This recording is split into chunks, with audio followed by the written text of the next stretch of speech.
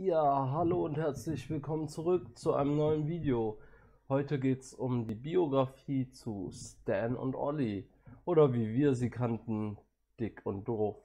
Und hier direkt mal eingeworfen, wenn ich über die alten Filme von Stan und Ollie rede, werde ich sehr wahrscheinlich Dick und Doof sagen. Das liegt daran, dass mir die in der Kindheit so drinne geblieben sind. Ich kann sie halt als Kind nur unter Dick und Doof und deswegen werde ich hier auch Dick und Doof dann sagen, wenn es um die alten Filme geht. Aber in ihrer Biografie Stan und Ollie werde ich natürlich dann auch Stan und Ollie sagen.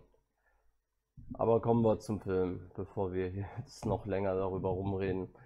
Stan und Ollie erzählt die Hintergrundgeschichte, also das, was hinter den Kameras passiert ist, zu Dick und Doof, beziehungsweise Stan und Ollie.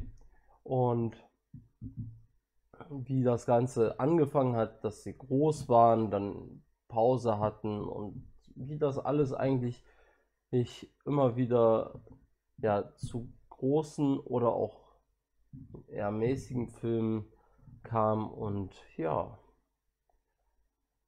sehr viel Humor, also gerade auf schwarzen Humor gesetzt oder die klassischen Gags sind hier sehr stark vertreten, ähm, aber auch nicht zu viel, wie ich finde. Also es wird sehr viel Fokus auf die Story gelegt und nicht zu viel auf den Witz, der ja Stan und Ollie groß gemacht hat und der auch dafür gesorgt hat, dass im Endeffekt die Filme so oft geschaut wurden. Nein, man hat sich hier mehr darauf konzentriert, den Witz gezielt einzusetzen, aber dafür auch die Story gut, also die Hintergrundgeschichte gut zu platzieren, so dass sich alles irgendwie gut vermischt. Nicht an allen Stellen, aber an den meisten. Und ähm, ich muss wirklich sagen, es fiel mir am Anfang schwer, äh, Steve Cogan als Stan zu identifizieren, also mit dem Charakter an sich so klar zu kommen und ihn als Stan zu sehen, wie ich halt doof damals gesehen habe.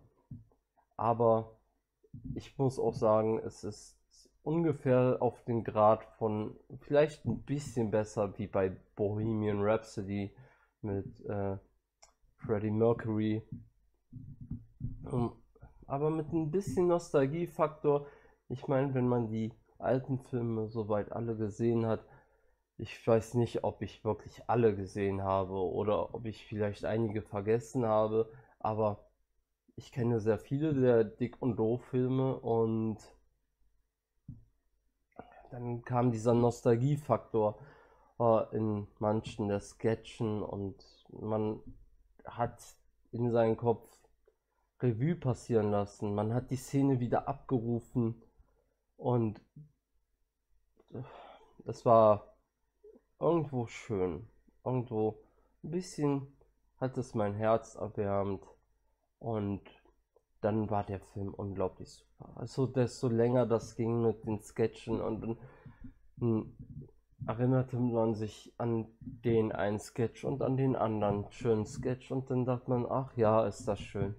Und dann ließ man so ein bisschen die Seele baumeln und dann war der Film perfekt. Also der Film hat mich am Ende doch sehr mitgezogen und dann kommt dieses unglaublich schöne, schöne Ende. Das, äh, ja, ich war dem Wasser an dem Tag doch näher als mir lieb war.